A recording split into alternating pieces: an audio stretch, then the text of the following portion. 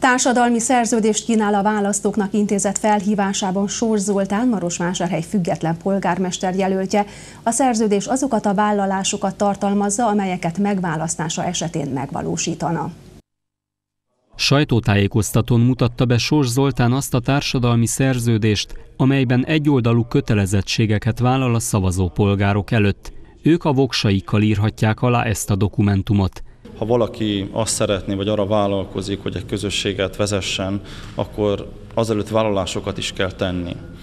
És pontosan ez a célja a társadalmi szerződésnek, hogy egy olyan felelősségvállalást szeretnék egyoldalúan meghirdetni, amit ugye a a marosvásárai polgára szavazatával tud hitelesíteni vagy elfogadni, ami arról szól, hogy a városvezetés az a polgárok érdekei alapján fog ezután történni.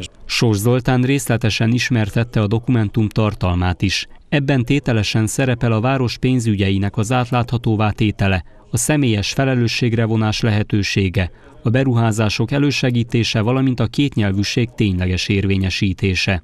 Elmondta, a döntéseket szakemberek bevonásával készítik majd elő, partnerként kezeli az egyházakat, civil szervezeteket, egyenlő távolságot tart a politikai alakulatokkal. Nem utolsó sorban pedig olyan városfejlesztési stratégiát dolgoz ki, ami ösztönzi a fiatalok itthon maradását.